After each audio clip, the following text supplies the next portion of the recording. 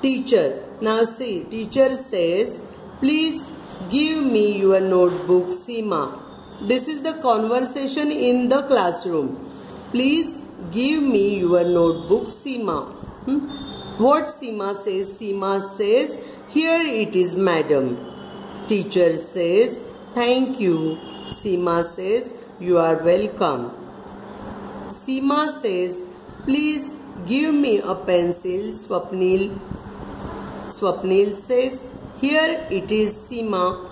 Seema says, thank you. Swapnil says, welcome.